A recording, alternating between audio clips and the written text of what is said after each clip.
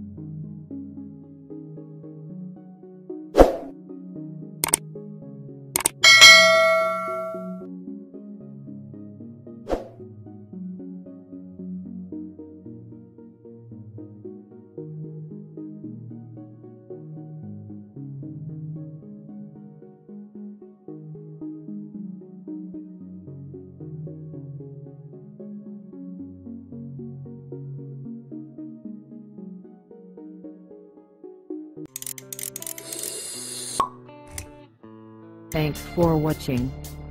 Don't forget to like, comment, share and subscribe to my channel.